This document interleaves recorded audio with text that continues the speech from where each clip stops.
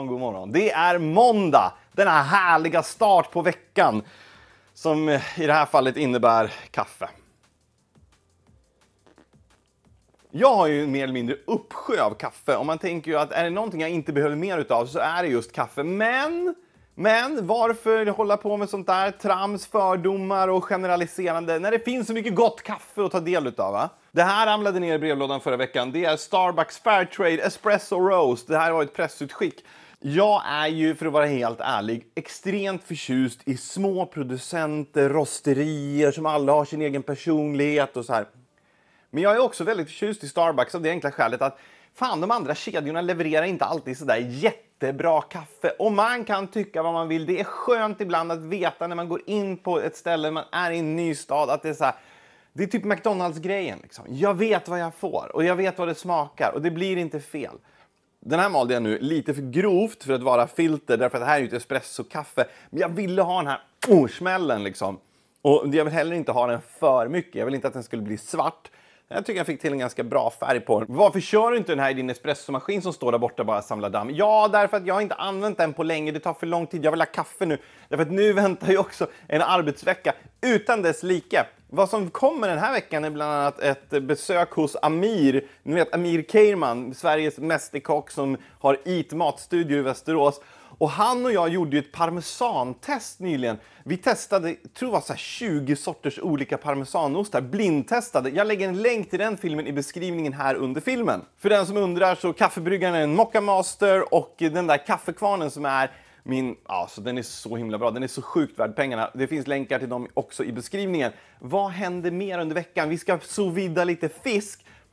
Jag råkade få hem eh, 10 kilo fisk från Norge här. Det finns ett företag som heter Frisk Fisk eller något sånt där. Ah, inte helt nöjd med det namnet, för det är liksom implicit menar ju de att all annan fisk inte är frisk. Då. Men okej, okay, det är lite kul också. Men de kör en fiskbil liksom, från Norge till Sverige fullastad färsk fisk kommer på liksom fem kilos lådor med, på, på, is. Så. Den har jag redo. Den ska vi sous vida. Det kommer bli ett grymt recept under veckan. Vad väntar mer? Jo, men jag tror att den här Frebaco-tävlingen som vi hade tidigare i somras, den vinnaren har jag varit och besökt tillsammans med kameran Andreas. Den filmen tror jag kommer upp under veckan. Det var en grym flankstek och en Duromotto som tillagades. Det var inte illa det heller måste jag säga.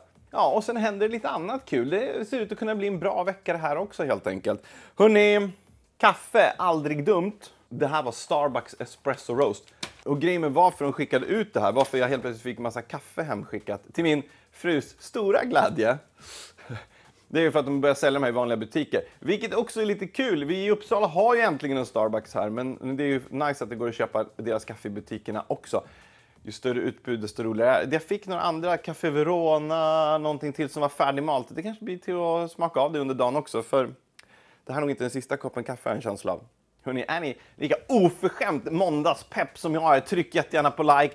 Har ni några bra förslag på grejer som jag borde servera den här fisken med sen? Jag hade spontant tänkt typ kanske potatismos, lite brynt smör, kantareller som är så här ordentligt stekta, lite kapris i det där brynta smöret kanske. Bara någonting enkelt så. Och barnen får brynt smör, inga kantareller, men de får istället gröna små ärtor. Ebba är en bra sort. Oh, men har ni några andra bra tips på hur jag borde servera den här? Äh? Jag tror att det var kummel, men jag är inte riktigt säker. Det kom två olika varianter. Ja, skriv jättegärna en kommentar. Och om ni inte redan prenumererar så gör det därför att, som ni kanske anar, så är jag tillbaka inom väldigt snar framtid med en ny video.